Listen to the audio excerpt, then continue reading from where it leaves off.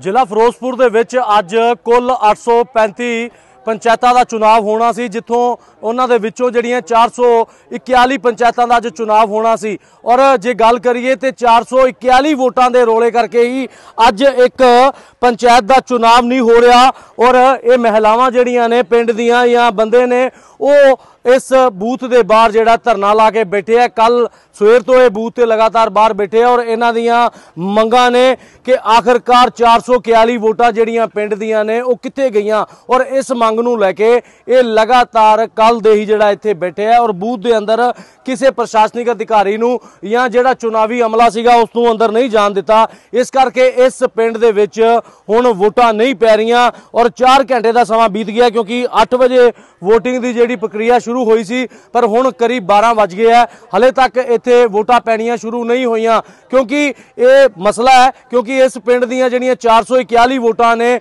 ਉਹ ਜਦੋਂ ਵੀ ਵਿਧਾਨ ਸਭਾ ਚੁਣਾਵ ਹੁੰਦੇ ਨੇ ਜਾਂ ਲੋਕ ਸਭਾ ਚੁਣਾਵ ਹੁੰਦੇ ਨੇ, ਤਾਂ ਉਹ ਵੋਟਾਂ ਪੈ ਜਾਂਦੀਆਂ ਨੇ। ਪਰ ਜਦੋਂ ਵੀ ਸਰਪੰਚੀ ਦੇ ਚੁਣਾਵ ਆਉਂਦੇ ਨੇ, ਉਦੋਂ ਇਹ ਵੋਟਾਂ ਕਿਤੇ ਨਾ ਕਿਤੇ ਗਾਇਬ ਹੋ ਜਾਂਦੀਆਂ ਨੇ। ਇਹ ਲੋਕ ਕਿਤੇ ਨਾ ਕਿਤੇ ਅਨਾਥ ਦਿਖਾਈ ਦਿੰਦੇ ਨੇ। ਇਹਨਾਂ ਦਾ ਕਹਿਣਾ ਹੈ ਕਿ ਜਾਣ ਕਿੱਥੇ? ਇਹ ਕਿਹੜੇ ਸਰਪੰਚ ਕੋਲ ਜਾਣ, ਕਿਹੜੇ ਪੰਚ ਕੋਲ ਜਾਣ ਤੇ ਕਿੱਥੇ ਆਪਣੀ ਮੰਗ ਰੱਖਣ? ਇਹ ਮੰਗ ਨੂੰ ਲੈ ਕੇ ਅੱਜ ਇਹ ਬੈਠੇ ਨੇ ਕਿਉਂਕਿ ਇਹਨਾਂ ਦੀ ਮੰਗ ਹੈ ਕਿ ਜਦੋਂ ਤੱਕ ਇਹਨਾਂ ਦੀਆਂ 441 ਵੋਟਾਂ ਪੰਚਾਇਤੀ ਚੁਣਾਵਾਂ ਦੇ ਵਿੱਚ ਨਹੀਂ ਪਵਾਈਆਂ ਜਾਂਦੀਆਂ, ਇਹ ਐਸੇ ਤਰ੍ਹਾਂ ਹੀ ਧਰਨੇ ਤੇ ਬੈਠਣਗੇ।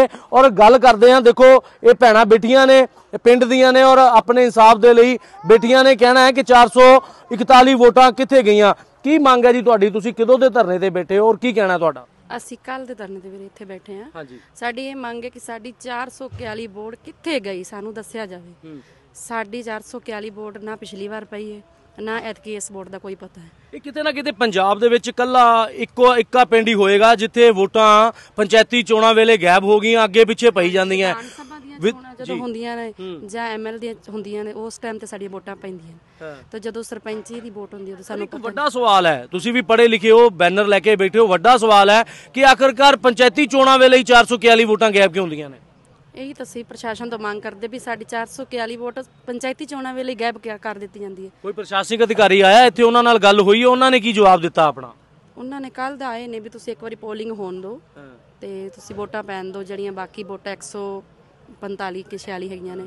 ਅਸੀਂ ਕਿਹਾ ਇਦਾਂ ਕਿਦਾਂ ਕਿ ਸਾਡੀ ਵੋਟ ਦਾ ਵੀ ਸਾਨੂੰ ਪਤਾ ਹੋਵੇ। ਕਿਉਂਕਿ ਸਾਡੇ ਪਿੰਡ ਦਾ ਕੋਈ ਵਿਕਾਸ ਤੁਸੀਂ ਵੇਖ ਲਓ ਕੋਈ ਵਿਕਾਸ ਨਹੀਂ ਹੋਇਆ। ਜੇ ਸਰਪੰਚ ਹੋਊਗਾ ਸਾਡੇ ਪਿੰਡ ਦਾ ਤਾਂ ਵੋਟਾਂ ਪਾਵਾਂਗੇ ਅਸੀਂ ਫਿਰ ਹੀ ਅਸੀਂ ਮੰਗ ਕਰਾਂਗੇ।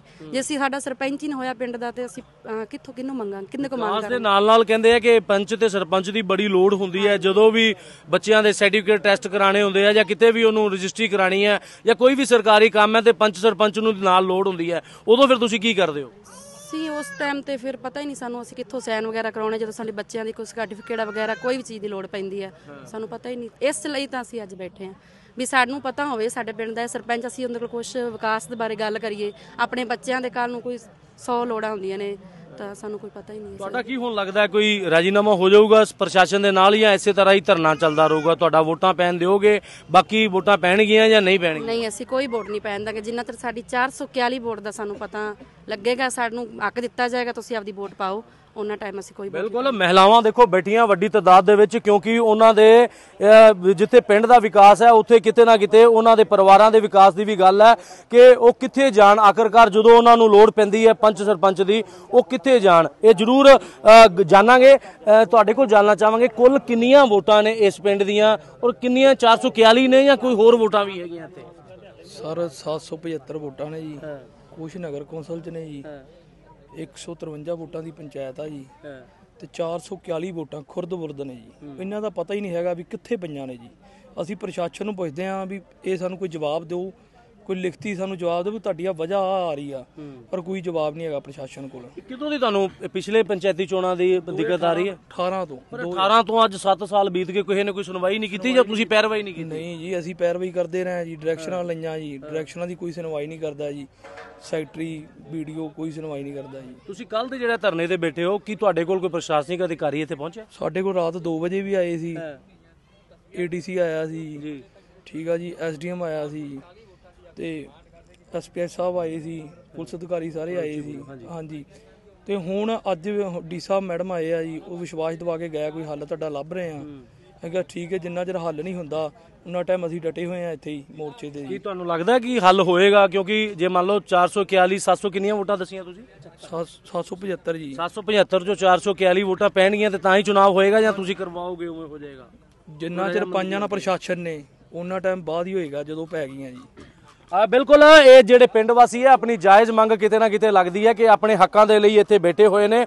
ਔਰ ਉਹਨਾਂ ਦੀ ਮੰਗ ਹੈ ਕਿ ਜੇਕਰ ਉਹਨਾਂ ਦੀਆਂ 441 ਵੋਟਾਂ ਪੈਣਗੀਆਂ, ਤੇ ਤਾਂ ਕਰਕੇ ਹੀ ਇਹ ਬੂਥ ਤੇ ਲੱਗਾ ਤਾਲਾ ਖੁੱਲੇਗਾ। ਨਹੀਂ ਤਾਂ ਇਸੇ ਤਰ੍ਹਾਂ ਹੀ ਇਹ ਤਾਲਾ ਐਵੇਂ ਹੀ ਜੜਿਆ ਰਹੇਗਾ ਔਰ ਲੋਕ ਇੱਥੇ ਬੈਠੇ ਰਹਿਣਗੇ। ਇੱਕ ਵੱਡਾ ਸਵਾਲ ਹੈ ਕਿ ਆਖਰਕਾਰ 18 ਤੋਂ ਲੈ ਕੇ ਹੁਣ 2024 ਸਨ ਚੱਲ ਰਿਹਾ 7 ਸਾਲ ਜਿਹੜੇ 5-6 ਸਾਲ ਟੱਪ ਗਏ, ਉਹਨਾਂ ਦੇ ਵਿੱਚ ਇਹਨਾਂ ਦੀ ਸੁਣਵਾਈ ਕਿਉਂ ਨਹੀਂ ਹੋਈ? ਔਰ ਇਹ ਲਗਾਤਾਰ ਲੋਕ ਦੱਸ ਰਹੇ ਆ ਕਿ ਇਹ ਵੱਡੇ ਪ੍ਰਸ਼ਾਸਨਿਕ ਅਧਿਕਾਰੀਆਂ ਕੋਲੋਂ ਜਾਂਦੇ ਰਿਹਾ ਪਰ ਕਿਸੇ ਨੇ ਇਹਨਾਂ ਦੀ ਸੁਣਵਾਈ ਨਹੀਂ ਕੀਤੀ। ਆਖਰਕਾਰ ਅੱਜ ਇਹਨਾਂ ਨੂੰ ਬੂਥ ਦੇ ਅੱਗੇ ਧਰਨਾ ਲਾਣਾ ਪਿਆ ਔਰ ਜੇ ਫਿਰੋਜ਼ਪੁਰ ਜ਼ਿਲ੍ਹਾ ਦੀ ਗੱਲ ਕਰੀਏ ਤੇ 441 ਪੰਚਾਇਤਾਂ ਦਾ ਅੱਜ ਚੁਣਾਵ ਹੋ ਰਿਹਾ ਹੈ। ਪਰ ਜੇ ਕਹੀਏ ਇੱਕ ਜਿਹੜੀ ਇਹ ਪੰਚਾਇਤ ਹੈ ਜਿਸ ਦੇ ਵਿੱਚ 441 ਵੋਟਾਂ ਦਾ ਹੀ ਰੋਲਾ ਹੈ, ਉਸ ਨੂੰ ਲੈ ਕੇ ਹੀ ਹੁਣ 440 ਵੋਟਾਂ ਜਿਹੜੀਆਂ 41 ਵੋਟਾਂ ਤੇ 440 ਪੰਚਾਇਤਾਂ ਦੇ ਵਿੱਚ ਚੁਣਾਵ ਹੋ ਰਿਹਾ ਇੱਕ ਜਿੱਥੇ ਹਜੇ ਤੱਕ ਸਵੇਰ ਤੋਂ 4 ਘੰਟੇ ਬੀਤ ਗਏ ਨੇ, ਪਰ ਹਜੇ ਤੱਕ ਇੱਥੇ ਚੁਣਾਵ ਜਿਹੜਾ ਪ੍ਰਕਿਰਿਆ ਨਹੀਂ ਸ਼ੁਰੂ ਹੋਈ।